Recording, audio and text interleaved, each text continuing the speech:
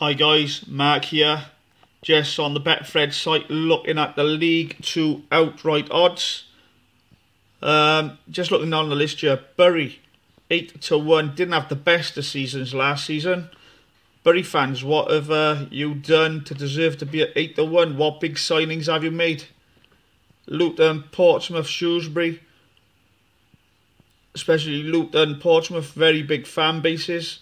Got a little bit of money to spend and uh, let us know what big signings have you made. Do you think you're going to go up to League One this time around, Portsmouth fans?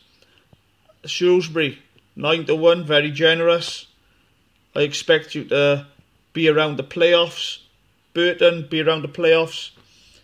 Myself, uh, you look at Tranmere, 18 to 1, not bad odds. I'd probably put a couple of quid on them in, in the accumulator. Myself, I'm a Newport fan, 25 to 1. I don't think we'll go up, but I'd love us to make the top 10. And at the bottom here, the usual suspects, Accrington Stanley, did alright last season.